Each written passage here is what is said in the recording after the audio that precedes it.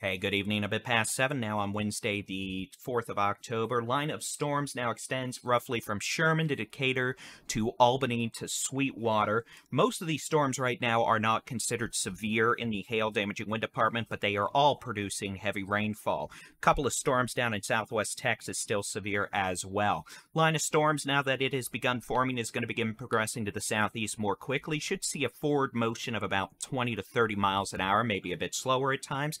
Maybe become a bit faster later tonight into Thursday morning. Still a couple of scattered showers and storms in far northeast Texas. We're going to have to keep an eye out on some of those individual storms for a very low threat of a spin up tornado over the next few hours. Otherwise, as we continue through the night, the high-res Rapid Refresh model doing a pretty good job of handling the current situation. We're anticipating storms will continue to move south and east in conjunction with a strong cold front overnight, and that means a lot of us across the state will be getting rain and storms at some point over the next 12 to 18 18 hours. Some of these storms will be severe with damaging straight line winds over 60 miles an hour becoming the primary hazard, but Pocket change size hail also going to be a threat. And can't totally rule out a brief spin up tornado. Otherwise, very heavy rainfall, the potential for localized flooding will be the primary concerns overnight with these storms. As you can see, we're actually going to be pretty busy overnight into Thursday morning as the line of storms with the cold front makes it all the way through the hill country, the Brazos Valley, the piney woods of East Texas, down to the upper Texas coast and southeast Texas, back into